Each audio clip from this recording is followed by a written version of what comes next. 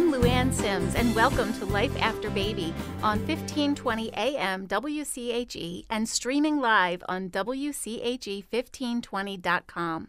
From bottles to books, spit up to social media, diapers to dorms, and everything in between, each week I interview parenting experts. Today's guest is Maria Tassoni.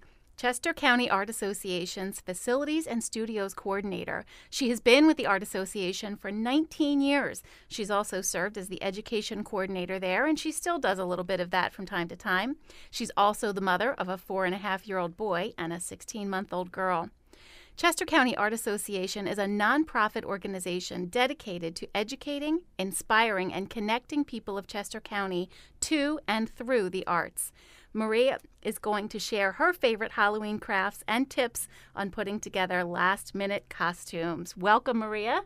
Thank you for having me. Thank you for being with us today. Why don't you tell us a little bit about the Chester County Art Association? Well, we are the local arts organization for Chester County. We're a nonprofit 501c3. We offer year round classes for kids and adults with a very robust summer art camp.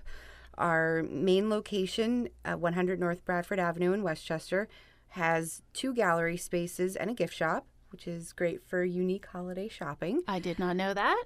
Um, we're there Monday through Friday or Monday through Saturday, nine to five, and the next opening reception uh, for the upcoming shows is going to be Thursday, November seventh, from five to seven, which is open to anybody. You don't have to be a member.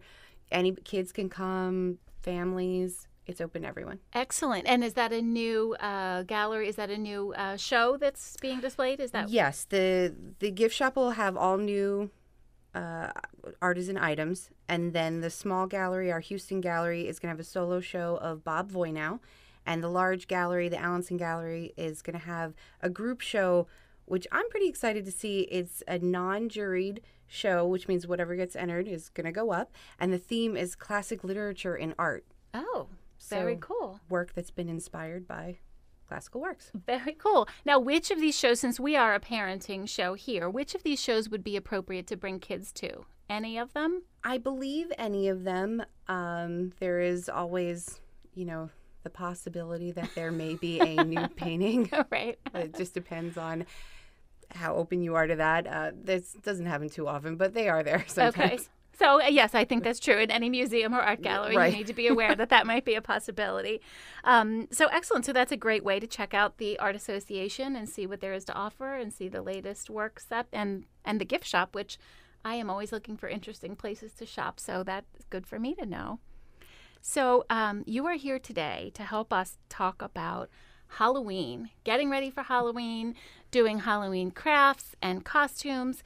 And we found out that you have two kids, four and a half year old and a 16 month year old. So, as a parent, as well as a professional or an artist, you are right in the middle of uh, the costuming world, correct? I very much. Last year, we made all of our costumes, went as a family theme.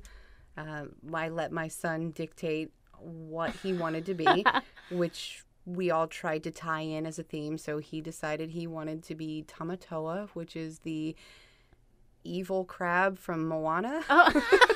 I was gonna say I don't know Tamatoa. Okay. Yeah, he's the one that sings the Bowie esque shiny song. nice, very nice. I'm gonna have to Google that to see what the costume My entails. son was pretty taken with him. so were you? Does that mean you were Moana? Uh, I was supposed to be, but uh, mom ran out of time to make her own costume, so I went with what I had, which would have been a '90s hippie. Okay, nice. And but, did you have the rock in there anywhere? Uh, well, my husband was Maui. Okay. Uh, although he looked a lot like a Viking-like Maui because we had to use the the kilt underneath, but I I made the grass skirt over it. Okay. So that he was at least for definite covered. yeah, nice. yes, that's probably important when yes. kids are involved. no, the baby went as the little chicken. Hey, hey. Okay, I'm gonna have to go rewatch this movie. But oh, I remember the chicken. Now I remember the chicken. How could I forget the chicken? Excellent, excellent. So, so I can tell, and and Maria is dressed Halloweeny. I won't say you're in costume, but you have awesome tights on and a Halloween colored sweater on. So you already look awesome, even though we're um, a week and a half away, which is I love. I think is I also have a costuming addiction. My brother says I have something called juvenile costuming disorder because I've been dressing my kids in homemade ridiculous costumes since they were born. But we have to understand, you and I have to understand, not everyone has this passion. So, that is true. for people who maybe are new parents or their kids are, are wanting something a little more special or n- more unique, how can people begin to get these awesome ideas if they if they're not coming naturally to them? Well, usually kids do have an idea of something they they want to be or do. But even if they're super if they're super young or if they really don't have anything, there's lots of things that you can do with regular clothing and a little bit of an enhancement. Okay. Uh, most animals are like that. Like um, y- cats and bats, if you want to go classic Halloween. I mean, all you really need is a black outfit. And it, depending on weather, if it's super cold, sweatpants. If it's not, just regular tights.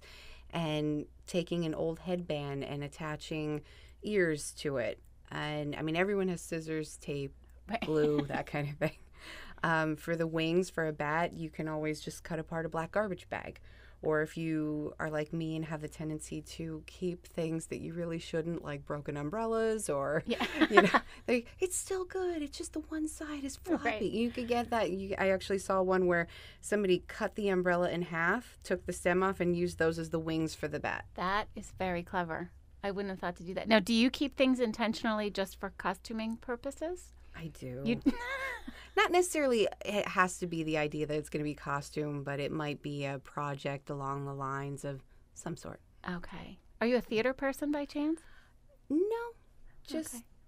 I really like building and making things, Right. and I think the the simpler you go, the I think the most ideal materials most of the time is cardboard, duct tape, and spray paint go a really long way. And if you need something that's thinner than cardboard, cereal box cardboard is fabulous for lots of projects. Okay, that's a good tip. Cereal box cardboard. So and and and I know I have been in circumstances where I need cardboard and I'm looking in my basement for big boxes or anything. I never thought of cereal They box. make excellent templates. It's super easy to cut because it's not corrugated. It's Right. thinner, but it's still firm. It's better than like a manila um, folder right. because it's a little bit thicker than that.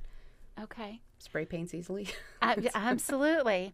Let's talk about um, what makes a good costume for a child because I have gotten into trouble myself where, for example, my son was a pencil and it looked fantastic, but he couldn't walk down the street um, or he couldn't see out of it. Or so maybe let's talk about some things that are maybe requirements. I know some of us who do get super excited about creating these things sometimes create things that might be um, dangerous or uncomfortable. so, um, things that came to mind for me were number one, you already mentioned it, warmth, yes. right?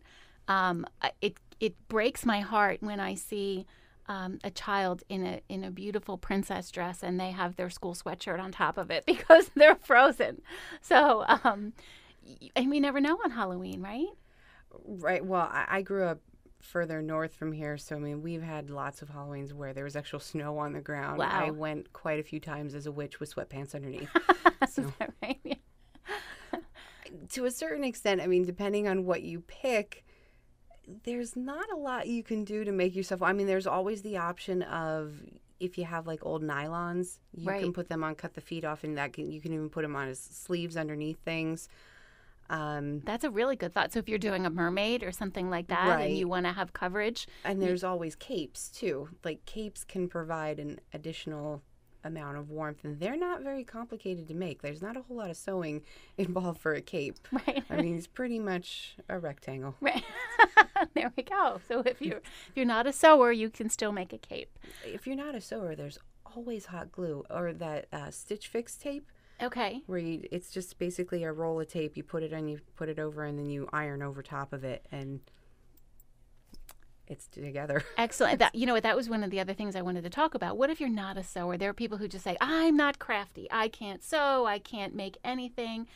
Stitch Fix, hot glue, Hot glue works amazingly right? for seams. I did uh, when I made our son's costume last year. I had to make giant pincher claws, right. and there was no way I was going to sew all of that together. Right. So I I basically cut out the basic shape. I took one side, I hot glued it all around the edge, put the other one over it, and just turned it inside out. Looked like it was sewn. Excellent, excellent. Hot glue. I have hot glued many a costume together. I have stapled some costumes together. Stapling safely. works too. hmm in a lot of situations. So back to maybe some things you should think about. Um, visibility. Obviously, your child needs to be able to see, um, and people need to be able to see your child. So if your uh, child wants to go as a ninja and they're all in black, you might want to consider, uh, I don't know, some reflective tape or something. You, you could do reflective tape, but you could also, I mean, ninjas usually have a sash. Make it a color sash. There you make it something that's like day glow, or you could really have them um, make it a little more interactive for the kid and get a little bit of glow in the dark paint Oh, and let them paint like you know maybe like the seams or you know another part of their costume or their sneakers on the bottom like on the side of the excellent.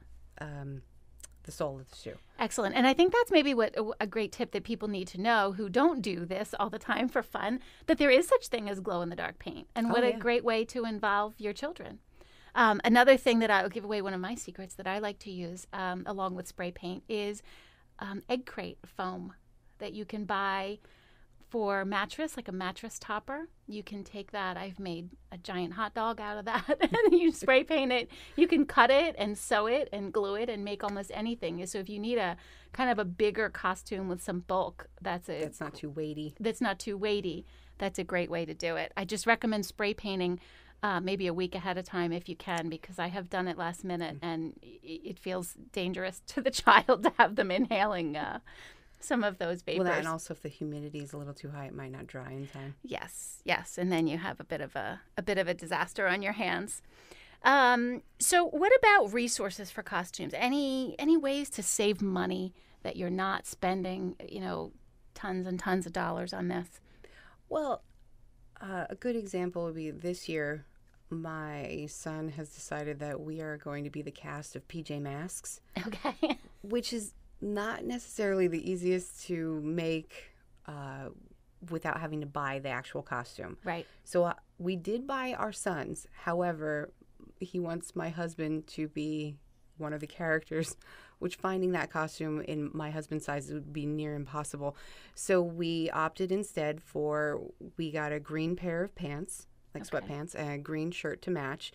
And I will be painting scales on Okay. and making a mask and a tail for him out of felt. There you go. Uh, the scales don't have to be complicated either. All I plan on doing is taking cereal box cardboard, cutting a scallop pattern, and literally just brushing the edge of it and keep moving it down and brushing the edge of it, and it'll make scales over the whole there costume. you go. There you go. Felt is your friend too. Very inexpensive. Felt and foam, you can buy it in sheets at most craft stores. You can cut it, you can glue it, staple it. Excellent.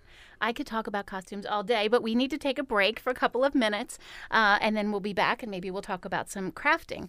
Um, but before we do, I would like to give a shout out to our sponsor, A Taste of Olive, featuring high quality extra virgin olive oils and balsamics from around the world. They have two locations, one in Chestnut Hill and one right here in West Chester Borough. You can also find them online at atasteofolive.com and you can use the coupon code FAMILY for 10% off your order. So visit them in person and online at atasteofolive.com. We'll be right back with more Life After Baby.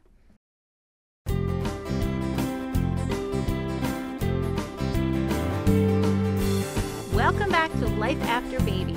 I'm Luann Sims, and I'm here today with Maria Tassoni from the Chester County Art Association. We're talking about all kinds of wonderful Halloween costume ideas.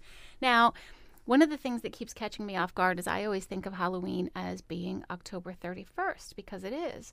But in the last 10 years or 15 years or so, we have had um, a plethora of Halloween activities like trunk or treat or parades at school that crop up a little bit earlier, or the West Chester Borough Halloween Parade, which is coming up this week. And I realized that I don't have quite as much time as I thought to come up with a costume. So let's talk about you suddenly realize you need something in the next couple of days, or we are only a week and a half away from Halloween at this point. What are some last minute things people can throw together to uh, come up with a decent costume on Halloween? I would say, uh, depending on, you know, if you want to get the whole family involved, you could easily all go as the Incredibles together. uh, wear red outfits, black masks, put cut out an eye for the shirt. Um, if your child's into wearing the world's Carmen Sandiego, she's another easy one. Red jacket, red hat, black boots, black gloves. Okay. Um, you know, it could go as the notorious RBG Ruth Bader Ginsburg. if you have a black graduation robe hanging out and a doily, it's pretty easy to pull right. off. I have to say, when my daughter was an infant, she was um, Ruth Bader Ginsburg quite Yeah. a while before she really had the um, celebrity that she does today. of course, Mm. everybody knew her, but uh, uh, maybe not as celebrated as she currently is. And that 50s style is very popular with various shows, as the Riverdale and the Sabrina the Teenage Witch remake. So there's always Rosie the Riveter, or uh, teens that are maybe into makeup could go as Roy Lichtenstein. Uh, he's the one that did the the pop art paintings that look like comic book with like the, the large dots on their faces. Okay. So they just outline their lips in black, their eyes in black, put like the dots on, wear a 50s style outfit. Boom, you're a pop art painting. Th- wow, there you go. That's a very nice recommendation coming from the Art Association. I- Gotta get the fine art in there somehow. Absolutely. I love it. So it doesn't just have to be a, a sheet and a two holes cut out for Ghost anymore if it's uh, last minute. No, I've had various artists do the where they literally took an empty frame, they painted their face to look like a self portrait, like maybe like a Vincent Van Gogh, tape up the ear, and then they went with the frame around their neck. Oh, wow. That's very cool. That's a very cool idea. I love that. Excellent. Well, thank you for those. Um, and I, you brought a Halloween craft to share with us today. Is that correct? I know a lot of us like to feel this cozy fall feeling and maybe do some fun crafts at home with uh, kids. Uh, I did this uh, involves pumpkin decorating, but without all the mess of actually carving it. uh, it's uh, if anyone's ever made their own shrinky dinks at home, uh, this is a way to do that. It's all it really takes is uh, getting number six plastic, which is most of the the clear the salad bar containers. When you go the clear plastic containers, you just cut out the uh, the top or the bottom, wherever's the smooth flat piece Okay. and that is the same thing as Shrinky Dinks plastic. It is. it is. I, Do you know how much money I've spent over the years on? Because they do sell sheets of shrinky dink paper that are it's not. the exact same thing as those takeout containers. What? Yeah. it's just number six plastic. Oh, if I had known this five years ago, I could have saved a lot of money. Okay, so go on. So, Well, so you would, um, in terms of doing it for a pumpkin, you would basically cut out your design. If you're going with a straight jack o' lantern, you three triangles, two for the eyes, one for the nose, and a mouth, and you would cut it out in the shape that you want. Color the whole thing black with permanent marker, okay. and you'd put in uh, use a hole punch to make the hole so that you have some way to attach it to the pumpkin. okay. And uh, you preheat your oven to 350. Uh, make a using tin foil. You can make like a little tray. You can put tin foil on a cookie sheet, but you want it to be thinner so that it, it gets more direct heat and faster. Okay. So you put the rack on the, the, the lowest setting, pop it in there after it's preheated for only like three and a half minutes. If you've done shrinky dinks before, you'll see how it curls up and then it starts to lay Right, flat. right. And then the holes will shrink as well from the, the hole punch. And then you can attach it right to the pumpkin with either like T pins or push pins, however Okay. you want to do that. So, like a pin size. So, it, it's if you use a paper, a hole punch to Right. make the hole, you're going to get the appropriate size once it shrinks to use Whatever a pin. size you make it, it's going to shrink down to a third that size. A third. Okay. So you want to make relatively large yes. triangles. yes. Um, if you ask them at the supermarket, they're usually pretty nice. They'll let you have a couple of the containers. Really? But I tend to save them from you know, like lunch or something. I'll wash it out, cut that part out, recycle the rest, and just it's a flat sheet, it stores really easy. Just throw it in a drawer until you need it. What a great idea. Okay, so everybody space that out. Don't everybody go to the supermarket on the same day and ask for or nobody's going to give them to us anymore. But that is a um, that is a wonderful tip. And you could also make other things that way. You could make keychains or anything that you, You could make with jewelry. shrinky dinks. Jewelry. Yeah, absolutely. What a wonderful craft. I love that. Well, thank you for sharing that. Um, we'll move on to our next segment of Life After Baby that we like to call It Takes a Village. We don't always have all the answers, which is why we need to help each other out. So we polled some local parents about crafting Halloween costumes. So Laura said this is a tip from from her, have a plan ahead of time so you don't waste time and money and also remember it doesn't have to be perfect. I am guilty of wasting an incredible amount of money. Um, I like to go to thrift stores to find things that I think might be uh, good supplies if I have an idea in mind. And I tend to buy multiple versions of things before I really have a plan. And because I get them from thrift stores, most often you can't return them. So I end up with a lot of waste. So um, I think that's where pre-planning might might. Uh, I agree with that yeah. completely. you do the same thing. I have done that. And, and remembering that it doesn't have to be perfect. It's so exciting when you show something to your child and they think it's the most beautiful, wonderful. They can't believe they get to wear this costume. I'm looking at the seam where I hot glued it and it's off center thinking, oh, that looks terrible. You can't go out in that. But your kid doesn't see that. And Uh, uh, no, my son was so excited to tell all of his friends at daycare that his mom made his costume. Yeah, right, right. And it doesn't happen that often anymore. No, and as he gets older, I'm sure it'll happen less. Less and less, exactly. Um, Amy says instead of sewing, use fabric tape. Velcro is another good one we didn't discuss. Hot glue or safety pins. Safety pins are little miracle workers. Yes, absolutely. Um, so, again, if it's not perfect, a lot of times you can make it better or uh, pin it up to be the size or shape that you need it to be by using some of those um, easy things. Okay. Um, Jen says keep it simple. Don't go crazy cutting out 200 stars when you can buy them for $2. Interesting point, right? That is true. Yes. Um, I can tell by the look on your face that you enjoy cutting out stars. Am I, right? I do actually. I I have a well, using scissors is one of my favorite. I've I've done like the paper cuttings and different things like that. So Okay. that would be the kind of thing that I would look at, especially since my son is so young, as practice for him Yeah. with scissors. Okay, right. Yeah, and again, another good way to But involve she is children. correct. It is sometimes a lot less stress inducing if you just buy one part of it. And if you do have this obsession, yes, I have tried many times to say, make a top hat out of felt and trying to get the brim just right and get it to stand up. And then I realized that I can go online and get one for less than $10 somewhere or go to a party store, or the dollar store, even sometimes we'll have things like that that would help. Um, so sometimes you can buy pieces for for a lot less than uh, what your stress is costing you. Uh, and Rachel says, start simple. You kind of spoke to this earlier. Start simple with an old shirt, a hoodie, a dress, or etc., and then elaborate on that.